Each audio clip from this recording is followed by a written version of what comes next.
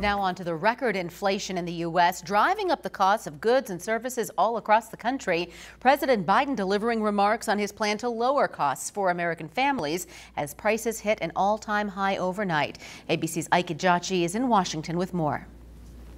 President Biden outlining his plan to lower costs for middle class families. We're going to keep working to fight inflation and lower costs to all American families. Gas prices at an all-time high, now 437 a gallon nationwide, and diesel hitting new heights too, 550 a gallon according to AAA.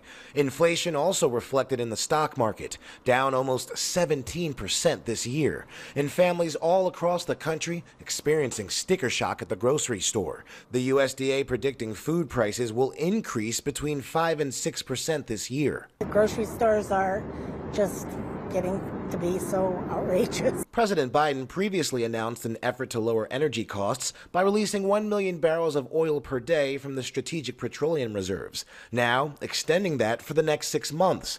He's also calling on Congress to pass clean energy and vehicle tax credits, as well as advancing the strongest ever fuel economy standards for cars and trucks.